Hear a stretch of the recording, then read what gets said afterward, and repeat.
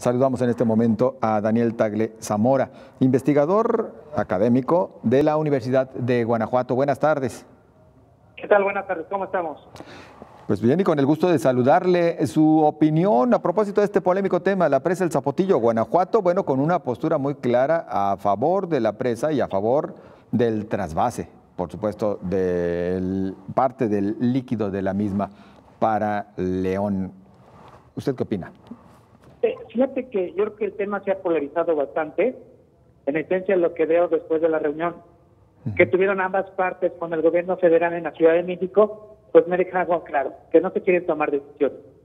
Y en esencia lo que vi es que de alguna forma me llamó la atención la reacción del presidente.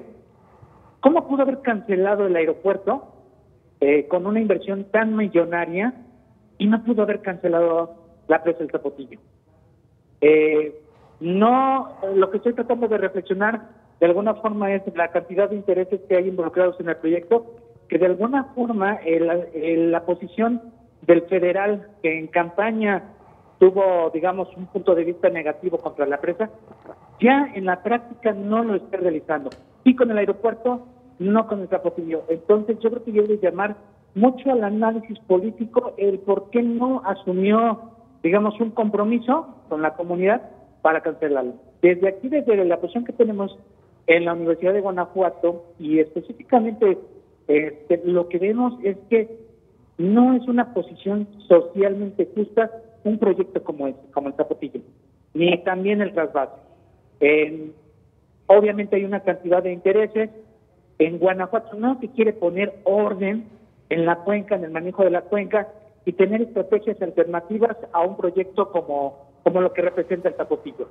Estamos cómodamente en una posición en la que preferimos molestar al vecino inundándolo eh, para traer agua a Guanajuato.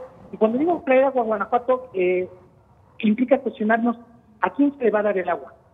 O sea, aquí mucha de la publicidad que tuvo Zapal eh, durante 2013, 2014 decía Zapotillo, agua para todos y para siempre. Sin embargo, hay que preguntarnos quiénes son todos y quiénes y qué, qué periodo de tiempo significa siempre. Y claramente lo que vemos es que hay un proyecto económico que tiene que garantizar con el abasto de agua y la gente realmente que esté en asentamientos irregulares, eh, pues básicamente no va a tener acceso.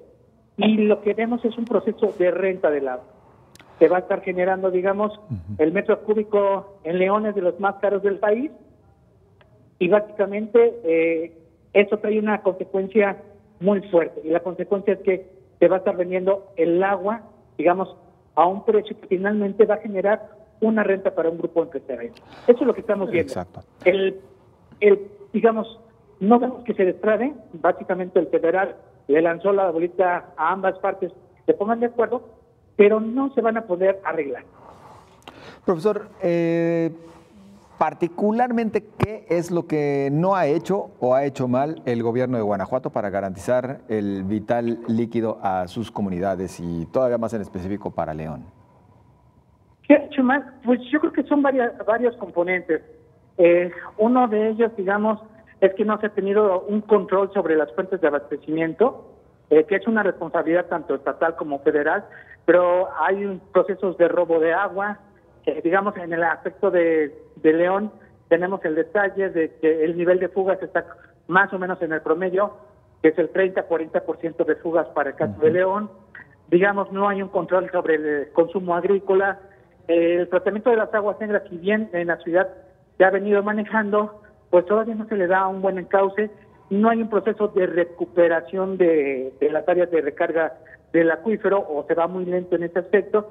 Y yo creo que lo que no quieren hacer es eh, plantear estrategias alternativas, realmente alternativas.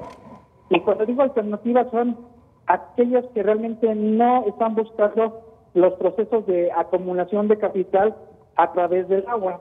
Eh, un caso interesante, por ejemplo, la semana pasada una empresa aquí en León, Guanajuato, acaba de instalar un sistema de captación de agua de lluvia con capacidad de 44 mil litros de agua. El detalle es, bien interesante. Ese tipo de, de, prácticas no se difunden y no la quiere difundir Tapal, no la quiere difundir la Comisión Estatal del Agua, porque implica que tú haces aprovechamiento de un elemento natural que es renovable, pero que no le deja rentas a alguien. ¿Me explico? Así es. Entonces, digamos, no, no, no quieren entrar el tema con la discusión de qué podemos hacer dentro de nuestra cuenca, cómo podemos ordenarla, eh, cómo podemos ajustarnos a la escasez, que sí es una escasez real en cantidad y en calidad, pero que de esta forma eh, preferimos o es mucho más cómodo ir a buscar el agua a otra región que limitarnos, que acotarnos a la disponibilidad que tenemos actualmente en nuestra cuenca. Ese es un detalle. ¿Se ha realizado algún tipo de ejercicio para conocer la, opinión de los habitantes de León eh, respecto a este tema de la presa del Zapotillo? Es decir, la postura, si a favor o en contra. Fíjate que a mí me preocupa algo. Los medios de comunicación en León me parecen irresponsables. A diferencia de lo que están haciendo ustedes, eh, informando a la sociedad, este programa me parece excelente, digamos, dando los diferentes puntos de vista en contra y a favor. En León no pasa eso. Los medios de comunicación eh, son, eh, digamos, a favor de una postura del proyecto. No dan estas diversas voces.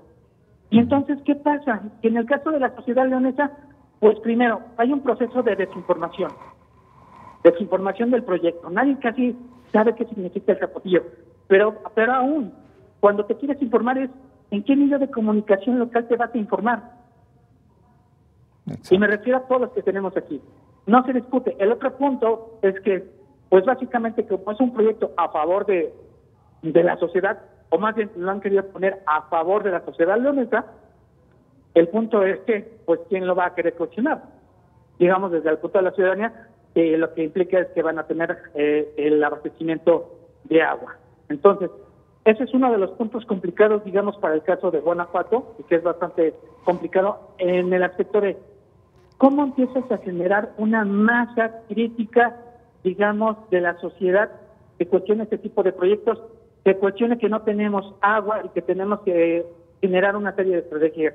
Y sobre todo, cómo eh, plantear esta cuestión de la participación ciudadana si no se promueve desde las autoridades de gobierno, si no se genera, digamos, desde el mismo medio de comunicación. En la academia somos muy limitados, somos prácticamente pocas personas que trabajamos el tema del agua hay, digamos, sectores de la sociedad civil, ahí está Gustavo, Gustavo Lozano, que está trabajando, digamos, muy acercado con las comunidades, pero son muy pocos los que realmente desde el lado de Guanajuato estamos teniendo, eh, digamos, la sensibilidad y también una postura de responsabilidad de que ellos no pueden cargar con los costos de que no nos queramos nosotros desde el lado de Guanajuato ajustarnos a nuestras condiciones hídricas. Profesor, agradecidos por su participación y en contacto, muy amable. Te agradezco, que pases buena tarde. Felicidades por el programa. Muchas gracias, muy buenas tardes.